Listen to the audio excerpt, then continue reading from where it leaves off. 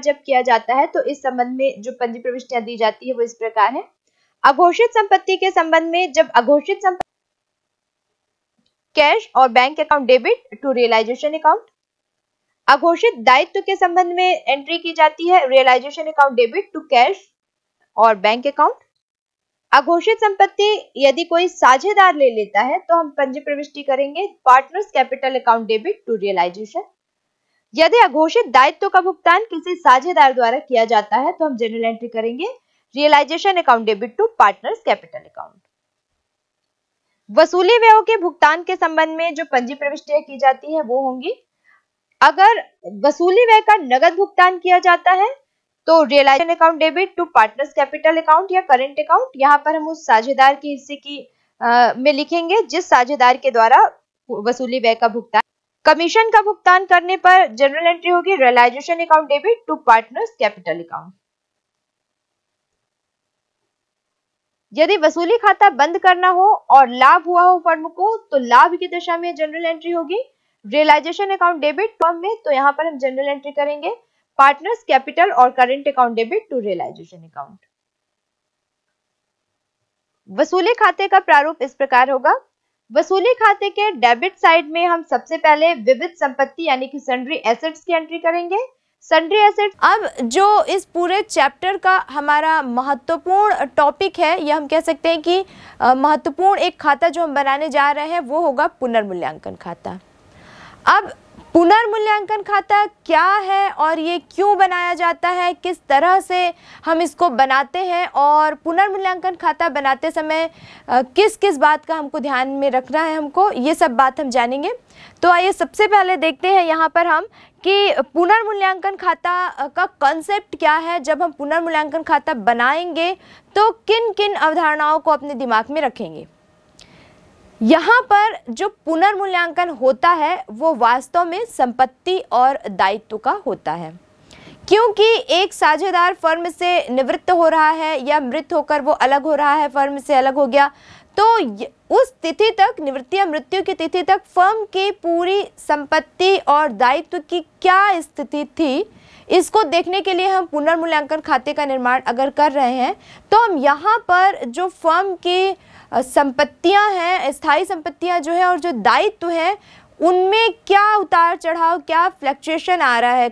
संपत्ति में कमी या वृद्धि या फिर दायित्व में कमी या वृद्धि? केवल इन दो पहलुओं को हमको बहुत अच्छे से ध्यान में रखना है। एक और कंसेप्ट हम ध्यान में अगर रखते हैं तो पुनर्मूल्यांकन खाता अगर हम कैलकुलेशन करते हैं तो कभी भी मिस्टेक होने की संभावना नहीं रहेगी। आपको यहाँ पे चार बिंदुओं को बहुत अच्छे से ध्यान में रखना है। सबसे पहले आपको देखना है कि संपत्ति के मूल्य में क्या हुआ है, कमी या वृद्धि। साथ ही साथ आपको अकाउंटेंसी का गोल्डन रूल भी फॉलो करते चलना है। अगर हम पहला कंसेप्ट देखें तो अगर हम देखते हैं कि संपत्ति के मूल्य में वृद्धि हुई है, यानी कि बैलेंस शीट में जो अमाउंट दी हुई है, समायोजन वाली अमाउंट जो है, उससे ज़्यादा है। संपत्ति के मूल्य में अगर वृद्धि हुई है तो ज़ाहिर सी बात है, संपत्ति के मूल्य में होने वाली वृद्धि फर्म के लिए लाभ है और क्योंकि ये लाभ है तो अकॉर्डिंग टू गोल्डन रूल हम इसको क्रेडिट साइड में लिखते हैं। तो अगर संपत्ति के मूल्य में वृद्धि होती है तो वृद्धि की राशि को हमको पुनर्मूल्यांकन खाते के क्रेडिट साइड में लिखना है। दूसरा कंसेप्ट अगर संपत्ति के मूल्य में कमी होती है तो क्योंकि कमी हो रही है, इसलिए एक प्रकार की हानि है, और क्योंकि ये हानि है तो इसको हमको पुनर्मूल्यांकन खाते के डेबिट साइड में लिखना है। अब अगर हम दायित्व की बात करें तो हमको ये चेक करना है, ये देखना है कि दायित्व के मूल्य में कमी हुई है या वृद्धि हुई है। यहाँ हम थर्ड स्टेप में देख रहे हैं कि मान लीजिए दायित्व के मूल्य में कमी हुई है। अब दायित्व है हमारा लाइबिलिटी है हमारी। लाइबिलिटी अगर कम हो जाए, दायित्व अगर हमारा कम हो जाए, किसी को हमको पाँच हज़ार देना था, अब हमको उसको सिर्फ़ तीन हज़ार रुपये ही देना है। तो यहाँ पर हमको लाभ हो रहा है अब दायित्व के कमी होने पर क्योंकि हमको लाभ हो रहा है तो अकॉर्डिंग टू गोल्डन रूल हम इस लाभ की राशि को पुनर्मूल्यांकन खाते के क्रेडिट साइड में लिखेंगे। चौथा कंसेप्ट अगर जस्ट अपोजिट अगर दायित्व के मूल्य में वृद्धि हो गई। किसी लेनदार को हमको पाँच हज़ार रुपया देना था, लेकिन ब्याज सहित अब वो हमसे आठ हज़ार रुपये की मांग करता है। तो यहाँ पर जो हमारी लाइबिलिटी बढ़ गई, दायित्व के मूल्य में वृद्धि हो गई। वो कहीं ना कहीं हमारे लिए हानि है एक्स्ट्रा एक्सपेंस है हमारे लिए। तो संपत्ति का मूल्य अगर दायित्व का मूल्य अगर बढ़ जाता है और हानि होती है तो वो जो डिफरेंस के अमाउंट है, ये हम कह सकते हैं कि जितने की वृद्धि हुई है, सिर्फ़ उतनी ही राशि को हमको यहाँ पर पुनर्मूल्यांकन खाते के डेबिट साइड में लिखना है। तो अगर इन चार कंसेप्ट को आप बहुत अच्छे से समझ लेते हैं, बहुत अच्छे से फॉलो करते हुए पुनर्मूल्यांकन खाता बनाते हैं तो मिस्टेक होने की जो गुंजाइश होती है, वो बहुत कम हो जाती है। अब अगला हमको देखना है कि जब हम इस तरह का पुनर्मूल्यांकन खाता यहाँ पर बनाएँगे तो वहाँ पर हम कौन कौन सी पंजी प्रविष्टि यहाँ पर हम एंट्री करेंगे? आइए देखते हैं कि जब संपत्ति और दायित्व का मूल्य बढ़ता या घटता है तो किस किस तरह की पंजी प्रविष्टियाँ दी जाती हैं? इसके अंतर्गत जो जो मदे आएँगी, वो होंगी debtors, plant and machinery, furniture, bills receivable, goodwill investment इसके साथ ही यहाँ पर हम स्टॉक लिखेंगे तो डेबिट साइड में हम लिखेंगे to stock to partners capital account to cash account यानी इसके अंतर्गत हम लिखेंगे realisation expense to cash account इसके अंतर्गत हम लिखेंगे क्रेडिटर्स के अमाउंट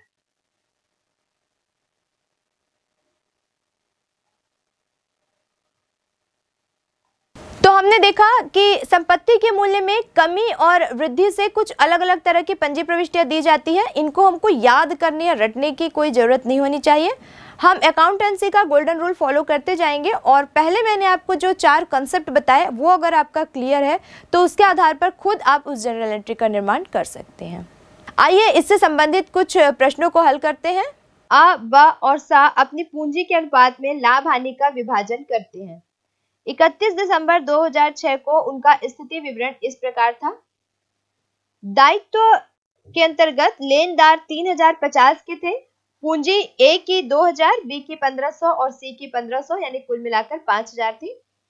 इस प्रकार संपत्तियों के अंतर्गत बैंक शेष 350, देनदार 3500, स्कंद 1500, यंत्र 2500 और उपस्कर यानी फर्नीचर 200 कुल मिलाकर इनके, इनका जो बैलेंस शीट था, उसका टोटल आठ हज़ार पचास था।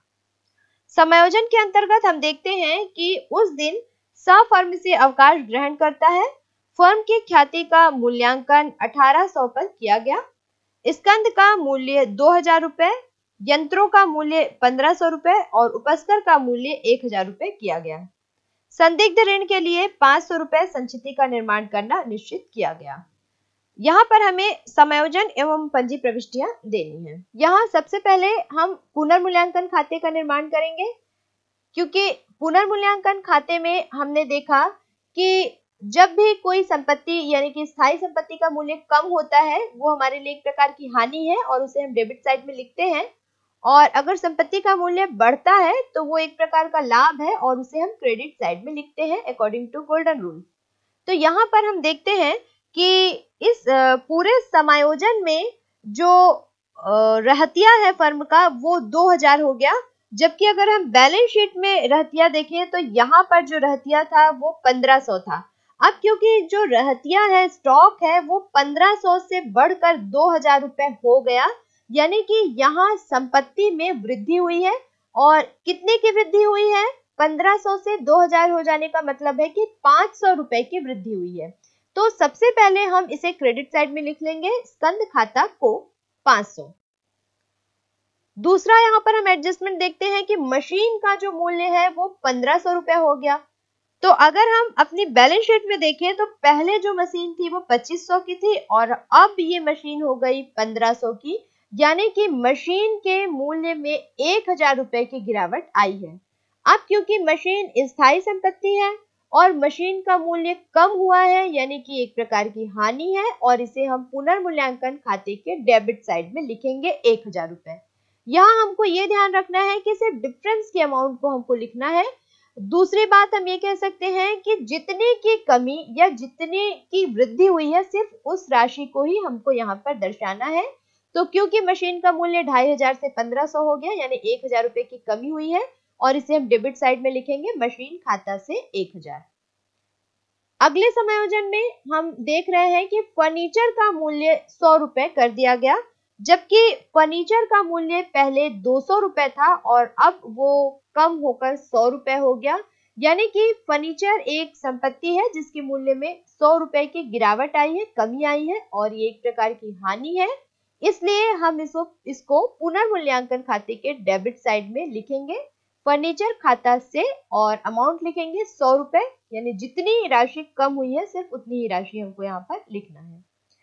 अब क्योंकि इसके अलावा अन्य किसी प्रकार का समायोजन यहाँ पर है नहीं, इसलिए हम डेबिट में से क्रेडिट माइनस करके बैलेंस निकाल लेंगे, जिसे कि हम कैपिटल अकाउंट में ट्रांसफ़र करते हैं। तो हम देखते हैं कि इसके डेबिट साइड का जो टोटल है, वो है 1100 और क्रेडिट में है 500 जब हम इसका बैलेंस निकालते हैं तो ये आता है 600 इसे हमें साझेदारों के पूंजी खाते में हस्तांतरित करना है।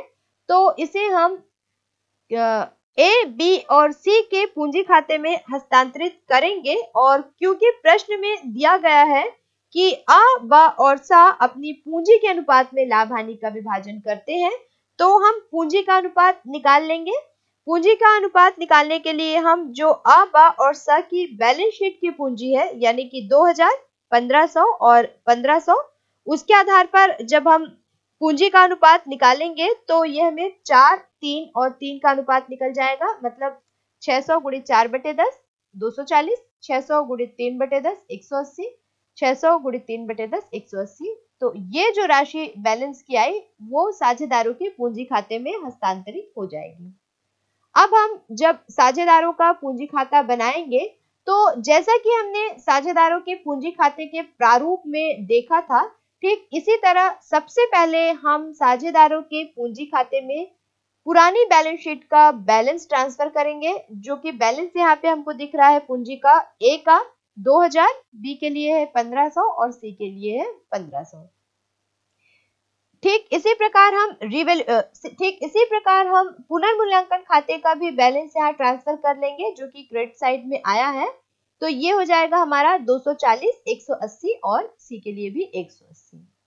अब हम यहाँ पर आ, समायोजन में देखते हैं कि पूंजी से संबंधित और कौन से समायोजन यहाँ पर हम दिए गए यहाँ पर दिए गए हैं तो यहाँ पर हम सबसे पहले देखते हैं कि जो ख्याति में जो रिटायर होने वाला साझेदार है, सी, उसका हिस्सा क्या है? तो फर्म की ख्याति का मूल्यांकन क्योंकि अठारह सौ रुपए से किया गया है और इसमें सी, जो कि फर्म से रिटायर हो रहा है, अगर हम उसका हिस्सा कैलकुलेट करें तो अठारह हज़ार गुणित तीन बटे दस के हिसाब से ये जो सी का जो हिस्सा होगा, वो पाँच सौ चालीस रुपए आएगा। अब, क्योंकि ये जो पाँच सौ चालीस रुपए सी के हिस्से की ख्याति है, उसको हमको जो बचे हुए साझेदार है, यानी ए और बी उन दोनों का जो अनुपात है, उसमें समायोजित हमको इसको कर देना है।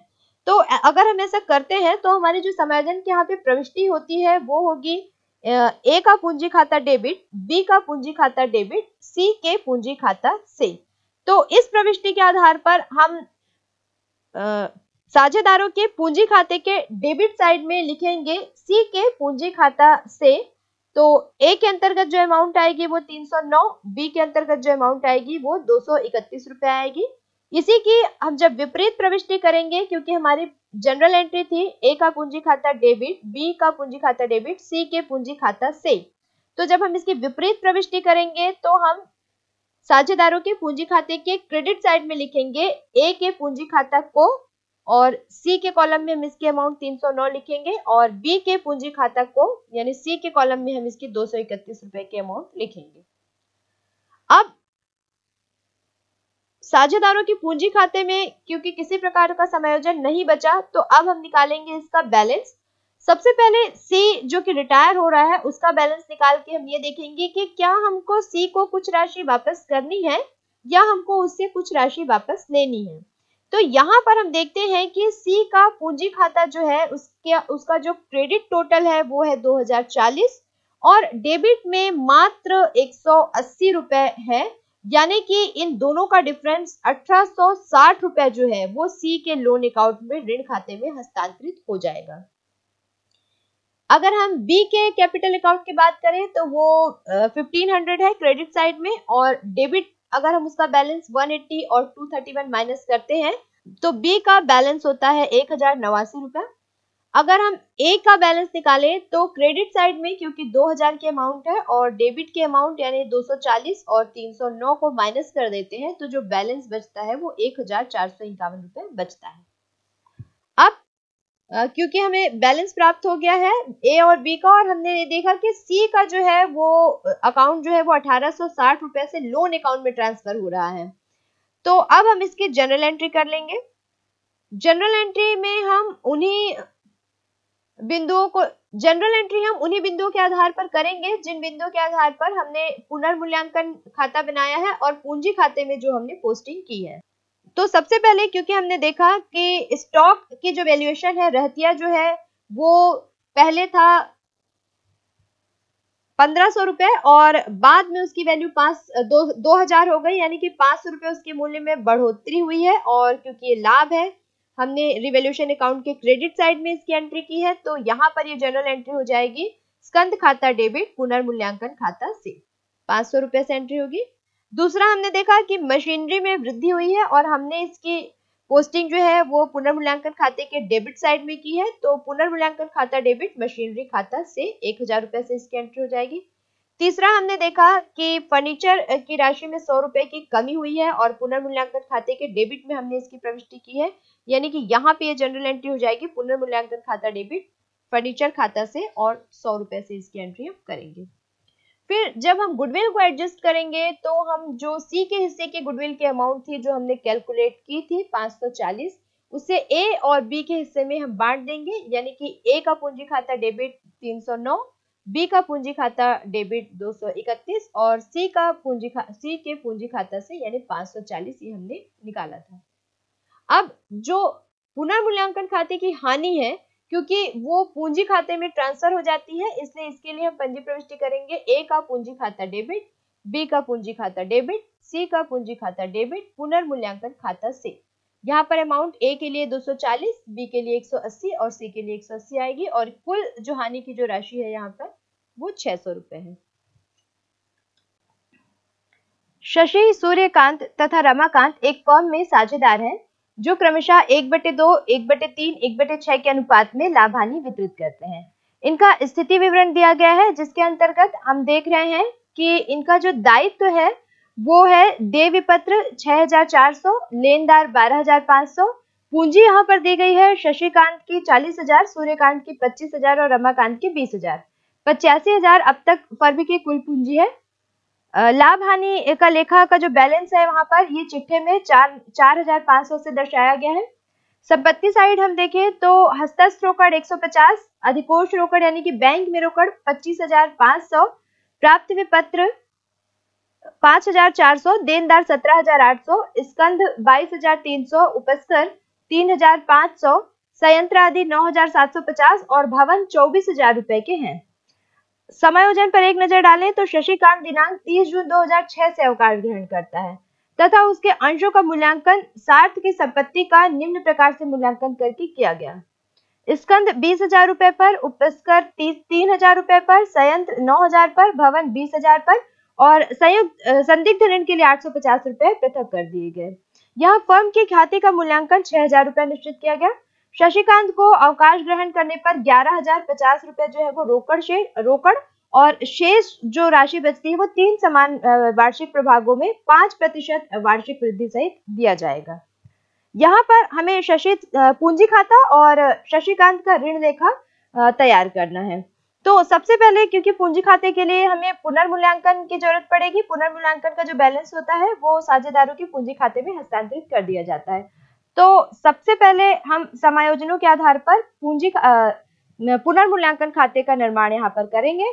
तो हम देखते हैं यहाँ पर कि स्कंद जो कि बैलेंस शीट में यहाँ बाईस हज़ार तीन सौ रुपए से दर्शाया गया है और समायोजन में उसे बीस हज़ार तीन सौ उसे बीस हज़ार रुपए कर दिया गया है।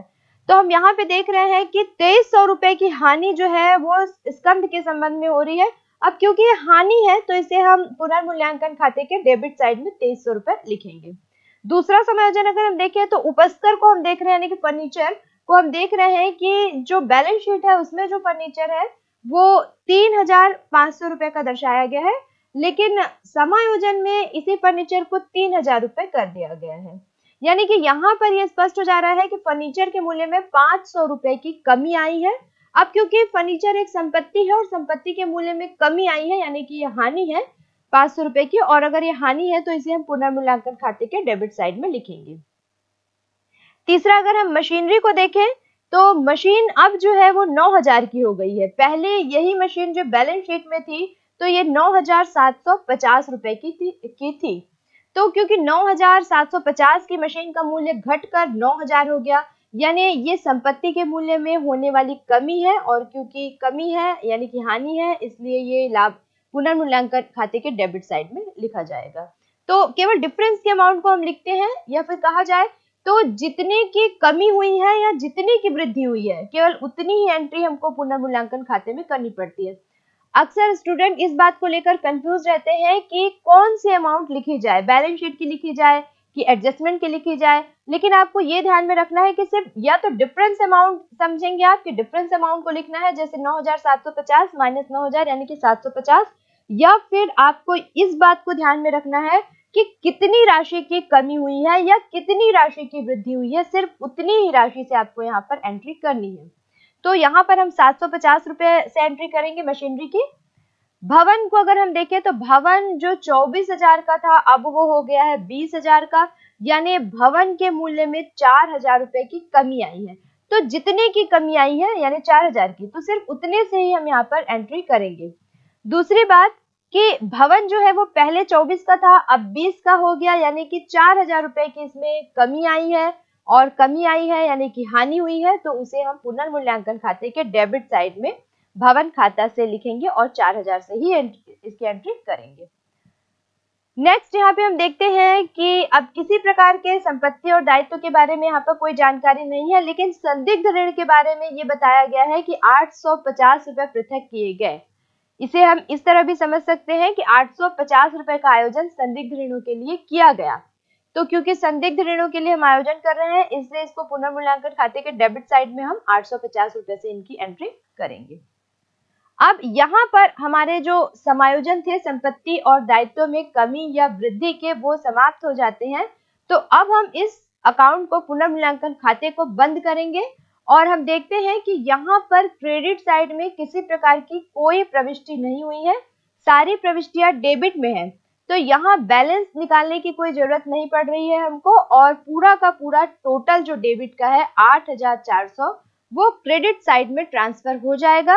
यानी कि ये पूरा का पूरा 8400 साझेदारों के पूंजी खाते में स्थानांतरित हो जाएगा। अब इस 8,400 को हम किस अनुपात में साझेदारों के पूंजी खाते में स्थानांतरित करते हैं? तो जो हमको अनुपात दिया गया है प्रारंभ में एक बटे दो एक बटे तीन एक बटे छह इसी अनुपात में हम इसको विभाजित करेंगे। लेकिन इससे पहले हम इस अनुपात को व्यवस्थित कर लेंगे। हम यहाँ पे देख रहे हैं कि एक बटे दो, एक बटे तीन और एक बटे छह लिखा गया है। तो क्योंकि जो मैक्सिमम हर में जो है वो छह है तो हम बाकी जो दो अनुपात है, शशिकांत और सूर्यकांत के, उनको भी हम, उनके हर को भी हम छह बना लेंगे। तो ऐसा करने के लिए हम शशिकांत का जो भाग एक बटे दो है, उसको हम, क्योंकि हमको हर छह लाना है तो जब हम तीन से नीचे उसको मल्टीप्लाई करेंगे तो तीन से हमको ऊपर भी मल्टीप्लाई करना है। तो यहाँ पे हम देख रहे हैं कि इसका भाग हो गया तीन बटे छह। दूसरा हम देखते हैं, सूर्यकांत का भाग एक बटे तीन था तो ये जो हर का तीन है, इसको छह बनाने के लिए हम दो से मल्टीप्लाई करेंगे। तो अगर हम हर को दो से मल्टीप्लाई करेंगे तो हमको अंश को भी दो से मल्टीप्लाई करना पड़ेगा। तो इसका भाग हो जाएगा दो बटे छह, और रमाकांत का भाग ऑलरेडी एक बटे छह यहाँ पर दिया हुआ है। तो इस प्रकार हम देखते हैं कि ये जो हमारा अनुपात हो जाता है, ये हो जाता है तीन अनुपात, दो अनुपात एक। तो ये जो आठ हज़ार चार सौ की अमाउंट है इसे हम शशिकांत, सूर्यकांत और रमाकांत में जब बांटेंगे तो शशिकांत को 4200 सूर्यकांत को 2800 और रमाकांत को 8400 रुपए मिलेगा। अब क्योंकि पुनर्मूल्यांकन खाता हमने कंप्लीट कर लिया है तो पुनर्मूल्यांकन खाते के आधार पर हम साझेदारों के पूंजी खाते का निर्माण करेंगे। साझेदारों के पूंजी खाते के निर्माण के लिए सबसे पहले हम बैलेंस को ट्रांसफ़र करेंगे। यहाँ पर हम बैलेंस शीट में देख रहे हैं कि जो साझेदारों का बैलेंस है गत वर्ष का वो है चालीस हज़ार शशिकांत का पच्चीस हज़ार सूर्यकांत का और बीस हज़ार रमाकांत का। दूसरा जब हमने यहाँ पर पुनर्मूल्यांकन खाते का निर्माण किया तो हम देखते हैं कि इसका जो डेबिट बैलेंस आया है वो है शशिकांत के हिस्से में 4200, सूर्यकांत के हिस्से में 2800 और रमाकांत के हिस्से में 1400 तो इसे हम डेबिट साइड में लिख लेंगे। तो जैसे कि यहाँ पर बैलेंस शीट में दर्शाया गया है कि चार हज़ार पाँच सौ रुपए का लाभ हानि का भी बैलेंस यहाँ पर बचा था तो वो जो चार हज़ार पाँच सौ रुपए की लाभ हानि है, अब क्योंकि ये जो बैलेंस शीट है, ये शशिकांत के निवृत्त होने के पहले की है तो ये शशिकांत सहित सभी साझेदारों में ये वितरित की जाएगी लाभ हानि की राशि। और इसका वितरण का अनुपात वही होगा जो अभी तक हम यहाँ पर अनुपात का प्रयोग करते आ रहे हैं, यानी कि तीन अनुपात, दो अनुपात एक में। जब हम 4500 लाभ हानि की राशि का वितरण करेंगे तो यहाँ पर हम देखते हैं कि क्रेडिट साइड में लाभ हानि खाता को शशिकांत के हिस्से में 2250 और सूर्यकांत के हिस्से में 1500 और रमाकांत के हिस्से में 750 रुपए की अमाउंट आएगी। अब यहाँ पर हम एक चीज़ और देख रहे हैं कि प्रश्न में स्पष्ट रूप से दिया गया है कि शशिकांत को अवकाश ग्रहण करने पर ग्यारह हज़ार पचास रुपए की रोकड़ यहाँ पर दी जाएगी तथा शेष जो है वो समान तीन वार्षिक प्रभागों में दिया जाएगा। तो जो हमने उनको पेमेंट कर चुका है ग्यारह हज़ार पचास रुपए पहले उसकी हम एंट्री कर लेते हैं तो क्योंकि ये पेमेंट शशिकांत को दी, जा रही है तो जनरल एंट्री होगी शशिकांत डेबिट टू कैश इसके बेस पे हम साझेदारों के पूंजी खाते के डेबिट साइड में शशिकांत में इसके हिस्से में लिखेंगे रोकड़ खाता से ग्यारह हज़ार पचास। अगला पॉइंट हम देखते हैं कि फर्म की ख्याति का मूल्यांकन जो है वो छह हज़ार रुपए से किया गया। अब क्योंकि फर्म की ख्याति का मूल्यांकन छह हज़ार रुपए है और इसमें जो रिटायर होने वाला साझेदार है, यानी कि शशिकांत, अगर उसके हिस्से को हम अलग कर देते हैं यानी शशिकांत का हिस्सा निकालने के लिए हम छह हज़ार गुड़े तीन बटे छह अगर करते हैं तो हमको तीन हज़ार रुपए जो है वो शशिकांत के हिस्से की अमाउंट यहाँ मिल जाती है। और उस तीन हज़ार रुपए के हिस्से के अमाउंट को जो बचे हुए साझेदार है, उनमें एडजस्ट करना है तो वो किस अमाउंट में हमको एडजस्ट करना, किस अनुपात में हमको एडजस्ट करना है, जो हमारे पास बचा हुआ अनुपात है। यानी कि यहाँ पर हम देख रहे हैं कि जो इनका अनुपात है, वो है तीन अनुपात दो, अनुपात एक। अब यहाँ पर क्योंकि शशिकांत रिटायर हो गया तो जो नया अनुपात बना इनका, वो हो गया दो अनुपात एक।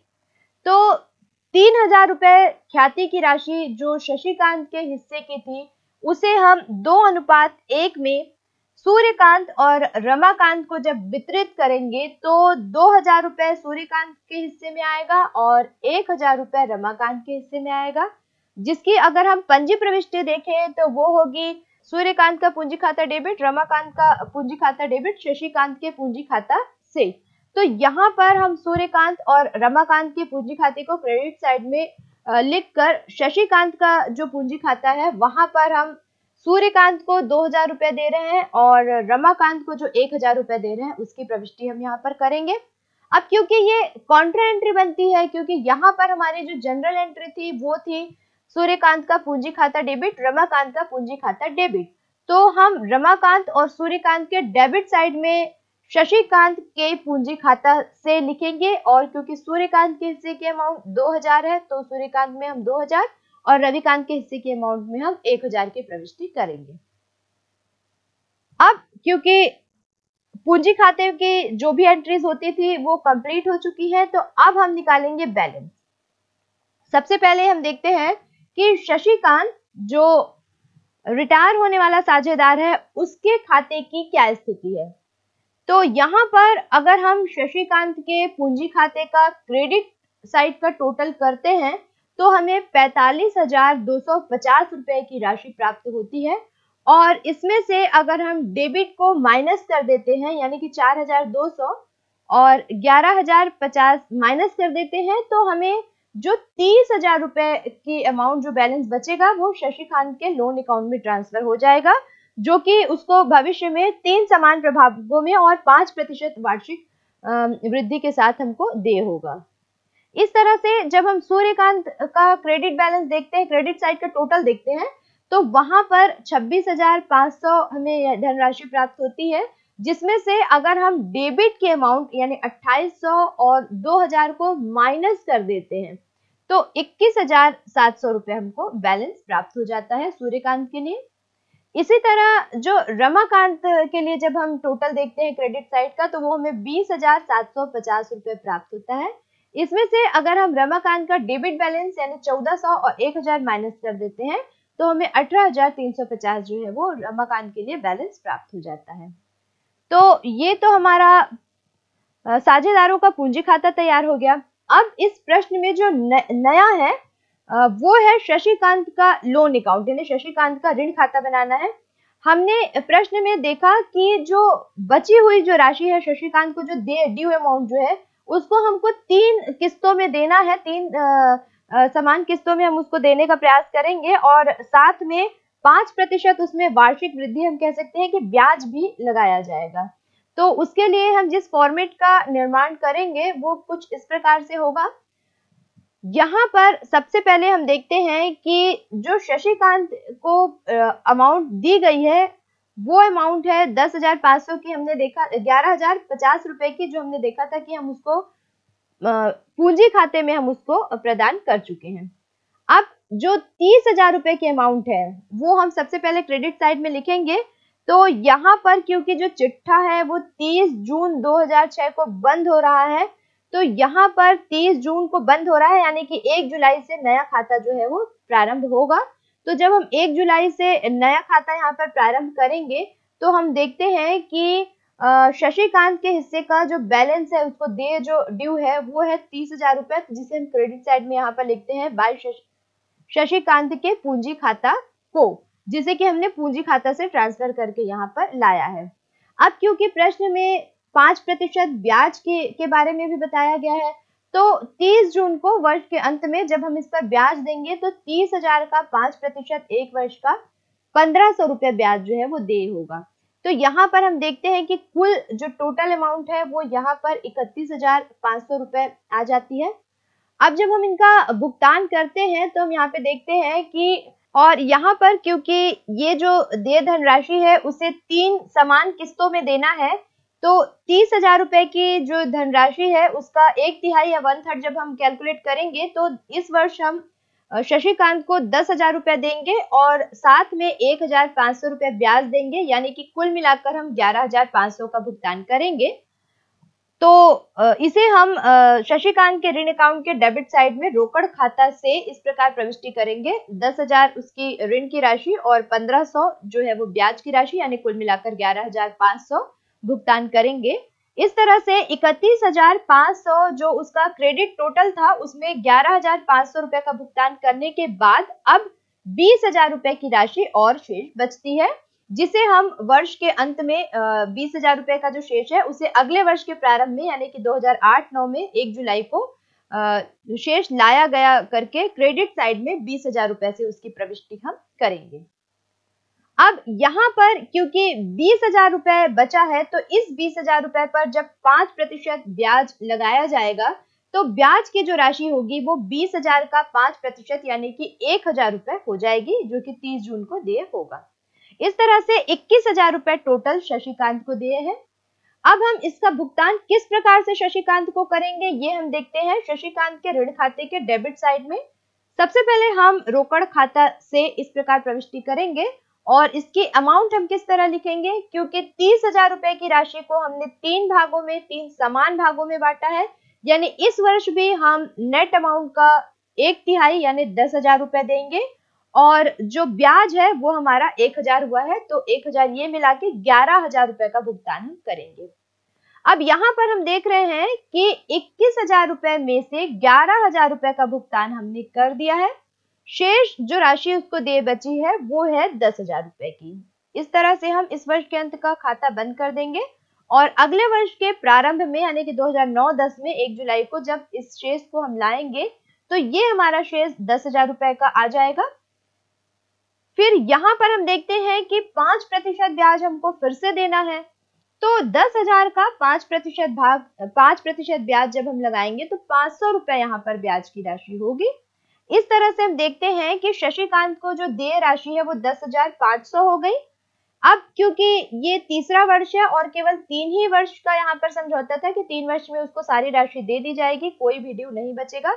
तो पूरे के पूरे दस हज़ार पाँच सौ की राशि यहाँ हम किस प्रकार देंगे? क्योंकि वन थर्ड के हिसाब से दस हज़ार उसको दिया गया और प्लस पाँच सौ उसे ब्याज दिया गया तो कुल मिलाकर दस हज़ार पाँच सौ की राशि का भुगतान शशिकांत को कर दिया गया। तो यहाँ पर किसी भी प्रकार की राशि शेष नहीं बची है।